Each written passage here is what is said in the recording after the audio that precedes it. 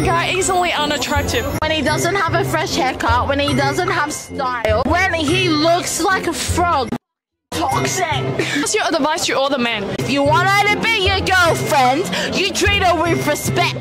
You treat her like you treat your mom. How much should the guy pay for the engagement ring? He needs to pay again. 500. He gets paid every year. 500. He saves that towards the ring. If he doesn't, he's gotta get a no. She belongs to the streets. Of course, she don't want to deal with a guy that is ugly. And that sounds funny to me when she herself is just so beautiful. Guys, welcome back to the channel again. In today's video, we'll be looking at delusional married women getting checked on camera. So I have some rules when it comes to cheating. If you're gonna cheat, be discreet. I don't want to know about it. You better not embarrass me. You better not father kids. Don't bring any STDs. I don't want to know about it. If I know about it, that's going to cause problems. Okay. The thing I want to emphasize though is, like I said, I better not find out about it. I don't want chicks in my DMs. I don't want to know. For me, ignorance is bliss. So I'm- I'm curious. I'm not Let promoting it. I'm not promoting No, no, it. I I, live it. in reality though. But but let me ask you something. Reality. When you say there's going to be problems, you're dating a guy who's worth fifty million dollars. What problems are you going to give him? He's going to say goodbye next. what problem? What you said? If I find out, you said if I find out, there's going to be a problem. What what problem are you going to give a man worth fifty million dollars? The problem is it's going to create emotional um, issues in the relationship. Okay, So- and then you get too emotional, and he's like, "But he's worth fifty million dollars. What problems are you going to cause him? Is my question. Men make money like that to tell women to fuck off. That piss them off. Absolutely, That, that annoy absolutely. them. Like they literally tell them to fuck off. That is one thing most married women fail to get. When a man has money, he's powerful and he can choose not to deal with your bullshit. But when he's broke, that's when you can sit down and say, if he cheats, there's going to be a problem. And there's really going to be a problem. But for a guy that is rich, the only time there can be a problem is when he's married to you. But dating, no. He'll let you keep pushing it. Eh, that's just what it is. But most of them, they don't know. They think that they're always in control and they can do whatever they want to do. Let's keep going. You guys are all just like really misogynistic. How do you define misogyny? I don't know. I don't like this. How do you? I'm just asking how you define misogyny. Are you okay? Like, do you want? You, like, you want to go as in leave? Is it because I asked how you define misogyny? Is that the?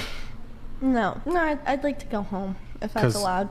Because I asked about how you define misogyny. This is what they do. They just go around throwing words around that they don't even know the meaning. And see, he asked her the meaning of misogyny, and she started crying. Had it been that you and this lady is in the room and she started crying and she called the police and said, You've done this and this and that to her, they are most likely going to believe it. This is how most female operate. Guys, when you are dealing with women, you gotta be very, very careful. They are very different from men. The way they operate is just unbelievable. Let's keep going. There's plenty of women that are 34, right? That are as attractive as you are, and there's plenty of women that are younger than you that are more attractive than you are, especially in Miami. He's only three percent of the population. If he has options, who is he gonna go with?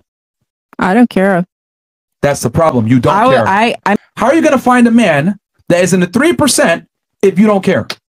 Hmm. I'm not trying to find a man, first of all. You want an exceptional man. Wouldn't it be fair to say that you have to put exceptional effort to find an exceptional man? I'm not putting any efforts That's to. the problem. and that right there is the problem. Why is it a problem? Because women think they're entitled to a top 3% man without putting work in, and then they wonder why that guy doesn't show up. Uh, who told you I'm looking for a guy? Oh, you're not.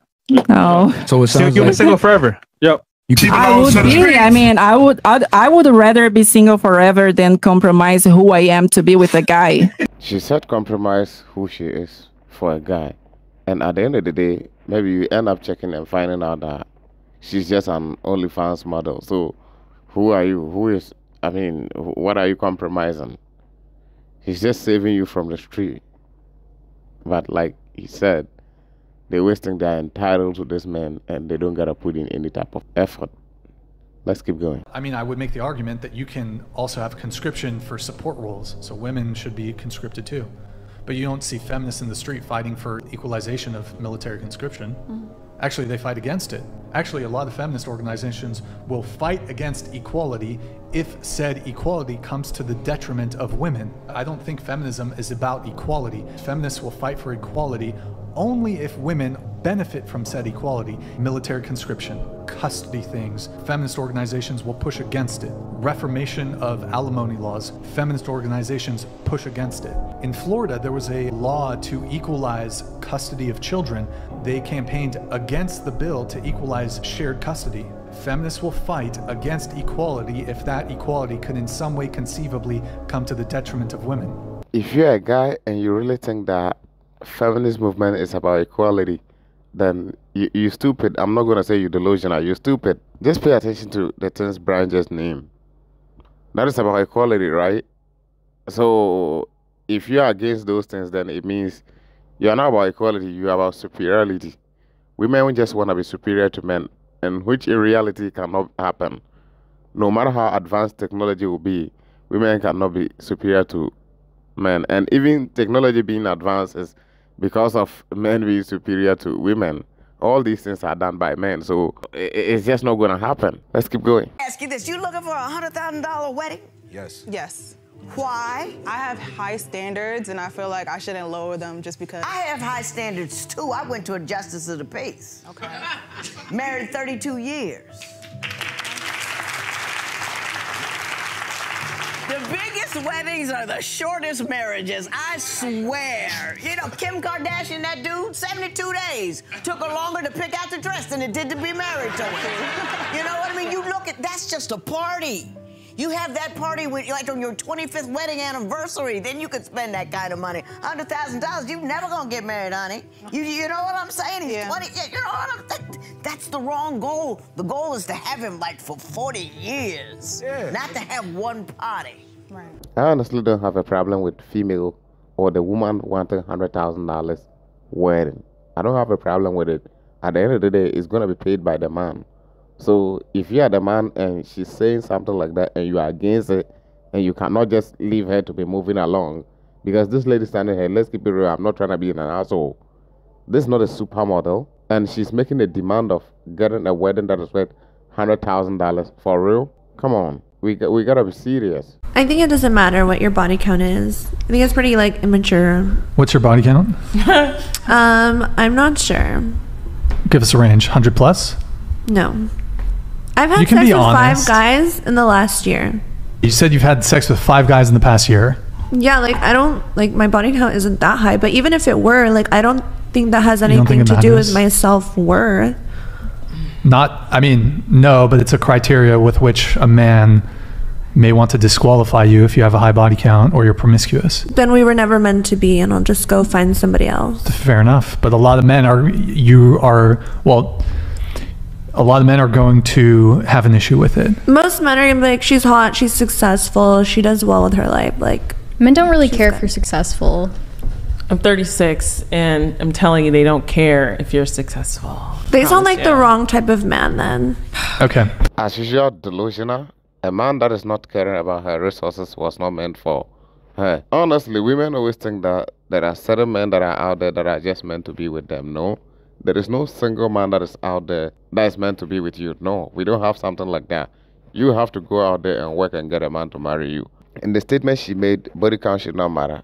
It's just this this is just a typical statement of a hoe. Why should the body count not matter? Why are you not feeling okay? Feeling like just why didn't she just mention her body count straight up? Since it doesn't matter. They know deep down, even being a hoe, three or four, they know deep down that it matters a lot. She put out, mhm, and she's also just lost her job, and she is five foot three and 180 pounds. I said, I said to her, babe, we're gonna look at the BMI chart.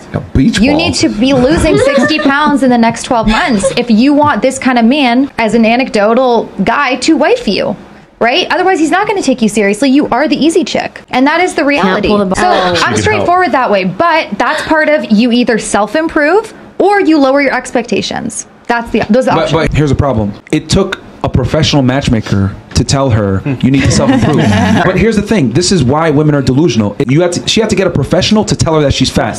You want to know how men know that they're fat or they're losers? They just go outside. Hey, you're a fat slob. Girls don't want to talk to you. You don't get calls returned. People don't respond, etc. Men get real time uh, reflection of where they stand in the sexual marketplace. Women don't. Well, and we're That's actually getting the opposite. We're getting the opposite because we have a society that panders to women and tells Yeah. them Yeah. you you don't have to change a damn thing and you can get something you've never gotten before. Or I would say the reason why most women don't recognize these things or don't realize these things is the fact that no matter how she look, she's gonna get so many dicks that are willing to fuck her. Men will almost fuck everything. Like it's just what it is.